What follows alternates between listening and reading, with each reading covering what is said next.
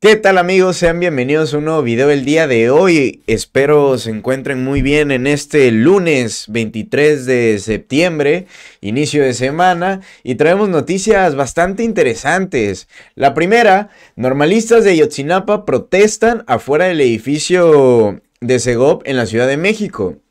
Normalistas de Guerrero se encuentran en las inmediaciones de la Secretaría de Gobernación y vandalizan la dependencia federal a 10 años de los hechos de Ayotzinapa. Se menciona que los trabajadores pues fueron evacuados. La segunda es que el INE da banderazo a elección de integrantes del Poder Judicial.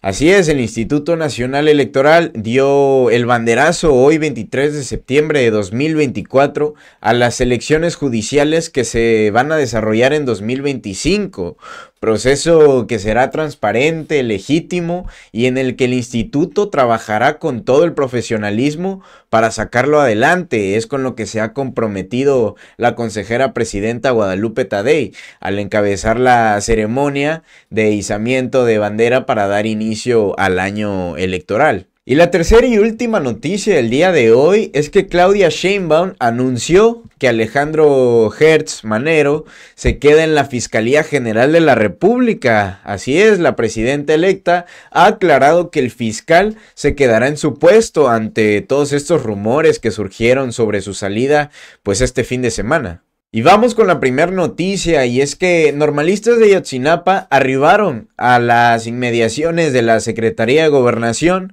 ubicado en la colonia Juárez de la alcaldía Cuauhtémoc. Todo esto pues para realizar una serie de exigencias a pocos días de que se cumpla el décimo aniversario de la desaparición de los 43 normalistas en Iguala, Guerrero.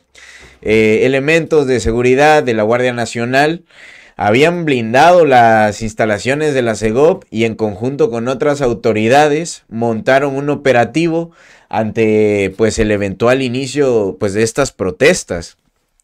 Después de bloquear Bucareli con camiones, don Clemente, papá de Cristian Rodríguez, uno de los 43 estudiantes desaparecidos, se plantó frente a la Secretaría de Gobernación con un cartel con la identidad de su hijo para iniciar con la jornada de protestas.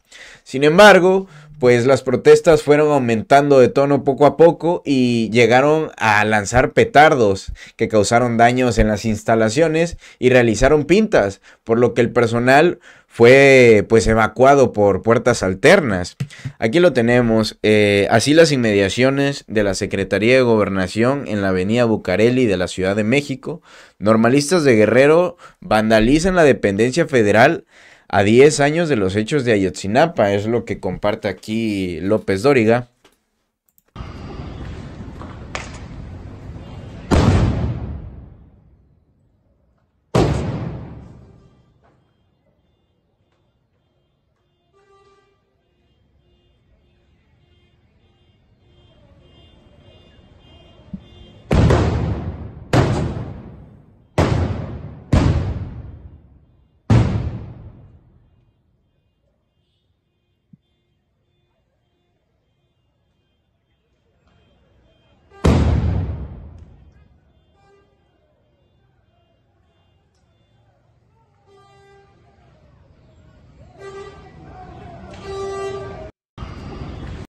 Y pues ahí tenemos las imágenes y es que además de cuetones, como pudimos observar, pues también se, las, se lanzaron gases que provocaron pues molestias entre, las, entre los más de mil familiares y compañeros de los normalistas.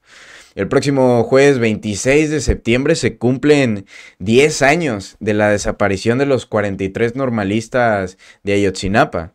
Y pasando a la segunda noticia, vamos con que el Instituto Nacional Electoral dio pues el banderazo el día de hoy a las elecciones judiciales que se van a desarrollar el próximo año. En una entrevista para diversos medios de comunicación al término de lo que es la sesión extraordinaria del Consejo General, eh, la consejera presidenta Guadalupe Tadei ha informado que pues preliminarmente están contemplando para la organización del proceso electoral del Poder Judicial la elección de pues alrededor de 880 cargos judiciales, tomando en cuenta que se renovarán que se renovará el 50% de los puestos de magistrados y jueces, así como las vacancias actuales, de acuerdo con lo establecido en la reforma al Poder Judicial.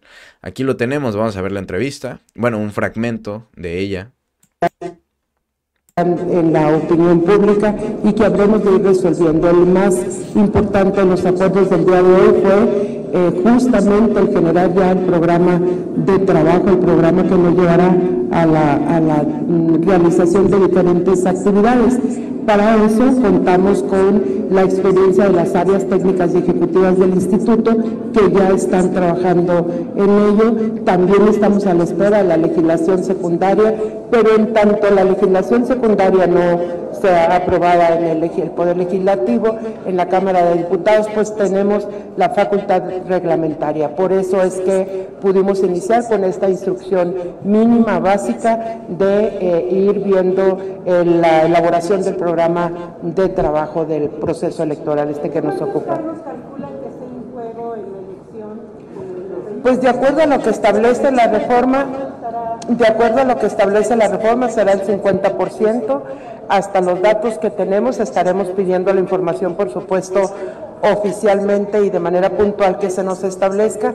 Tenemos dos consideraciones. Una, que es el 50% de todos los puestos que están en el Poder eh, Judicial de la Federación eh, que son parte de esta reforma y la otra es que habrá de tomarse en cuenta también las vacancias existentes, de tal manera que si calculamos que son 1.760 cargos, estaríamos hablando de 880 eh, eh, cargos que estarían en el proceso de elección en el, próximo primero de julio del 2025. Y en esos estarán incluidas, se entendería de manera inicial, todas las vacancias. Esa es una información que el Consejo de la Judicatura deberá de entregarle al Senado y el Senado hacer las valoraciones correspondientes. Y pues ahí tenemos las palabras de Guadalupe Tadei. Eh, durante la sesión extraordinaria del Consejo General, la consejera presidenta mencionó que este nuevo proceso electoral eh, pues inédito, eh, va a presentar pues desafíos, nuevas reglas, nuevos actores y calificó la elección judicial como un proceso que tendrá pues una valía adicional, ya que servirá para refrendar la solidez institucional y la adaptabilidad para ejecutar nuestra función pública, han sido sus palabras. Y ya para cerrar el video, vamos con la presidenta electa, Claudia Sheinbaum, eh, que se reunió con el titular de la Fiscalía General de la República, Alejandro Hertz Manero, y aclaró que pues él va a quedarse en su puesto ante pues los rumores que habían surgido sobre su salida pues este pasado fin de semana. En entrevista, tras salir de su casa, la doctora Sheinbaum Pardo indicó que se reunieron para abordar el tema de la coordinación eh, en el tema de seguridad, pero aclaró que la autonomía en la Fiscalía General de la República pues es fundamental, eh, que ella ha estado planteando la coordinación y Alejandro Hertz Manero pues ha estado de acuerdo y que se están poniendo de acuerdo para fortalecer la coordinación en el gabinete de seguridad, en la Secretaría de Seguridad, que ha sido una buena reunión, ha indicado Claudia Sheinbaum antes de viajar con el presidente Andrés Manuel López Obrador a Matamoros. Vamos a ver el video. Esta mañana me reuní con el fiscal general, con el doctor Alejandro Hertzmanero y una muy buena reunión. Em, como ustedes saben, la autonomía de la Fiscalía es fundamental, pero yo he estado planteando la coordinación y él está de acuerdo. Entonces nos estamos poniendo de acuerdo para ver cómo fortalecer la coordinación en el Gabinete de Seguridad, con la Secretaría de Seguridad Ciudadana, y una muy muy buena reunión. Doctora, se rumora que el fiscal se va. ¿Él se no, se queda, se queda, sí, se queda. ¿Cuánto tiempo más le platicó? No, por lo pronto se queda. Sí, estamos hablando de la coordinación.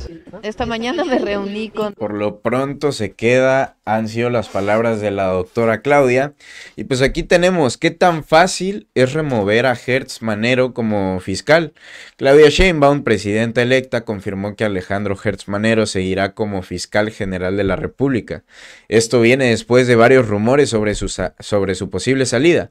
Sheinbaum explicó que la fiscalía es autónoma, lo que significa que su independencia es su escudo y no se toma a la ligera cualquier decisión sobre su liderazgo.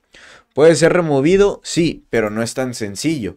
La Constitución y la ley establecen que el fiscal general solo puede ser removido por causas graves, como cometer delitos que ameriten prisión preventiva, perder la ciudadanía mexicana o por incapacidad permanente. Además, si el presidente decide removerlo, el Senado tiene la última palabra. Si la mayoría de los senadores vota en contra, el fiscal podría ser restituido en su cargo. Entonces, aunque se puede remover al fiscal, pues el proceso es complicado y tiene varios controles para asegurar que no se haga de manera arbitraria. Y pues ahí lo tenemos. Eh, cabe mencionar que Claudia Sheinbaum desde la campaña electoral había asegurado que invitaría al fiscal general de la República a los gabinetes de seguridad tal como lo hizo en la Ciudad de México con la Fiscalía de Justicia. Pues todo esto con el objetivo de que haya una mayor coordinación con la Secretaría pues, de Seguridad Ciudadana. Y así es como llegamos al final de este video amigos. Si les gustó pues dejen su buen like, ya saben que lo apreciamos mucho. Y dejen sus comentarios acerca de qué opinan eh, pues sobre estos temas. Ya saben que siempre los estamos leyendo. Y pues sin nada más que agregar, eh, espero que estén teniendo un excelente inicio de semana y nos estamos viendo en el siguiente video.